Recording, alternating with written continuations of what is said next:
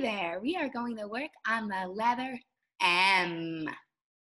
M is an awesome letter because you use it when food is really delicious, like, mmm, that was a delicious chicken nugget. I love a good chicken nugget. All right, let's look at the letter M on my magnetic letters. This is an uppercase M.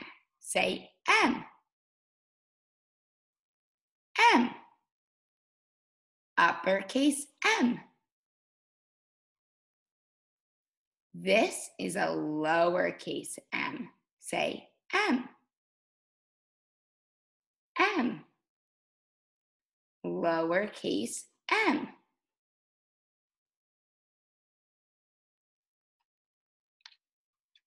M makes the sounds mmm. Look at my lips when I make the sounds mmm. Mmm. Mmm. You try. Mmm. Like M mouse. Mmm. Mmm. Mmm. Mmm.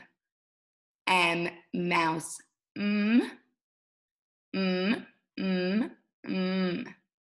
M is for mouse. Let's go ahead and make the letter M. When I make an uppercase M, I pull down, slant down, slant up, pull down, like that.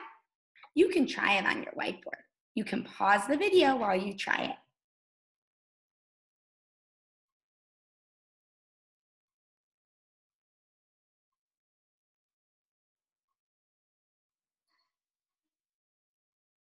A lowercase m is a little tricky.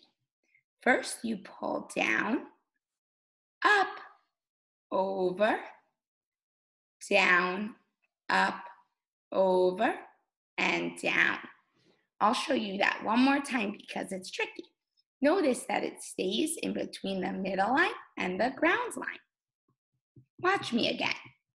I start at the middle line. I pull down and up, over, down, up, over, and down, like that. It has two tunnels. Try it on your whiteboard. Pause the video while you're trying it. There are lots of words that start with the letter M, like mitten or map or mail or milk. Lots and lots of M words. Look out for M everywhere you go.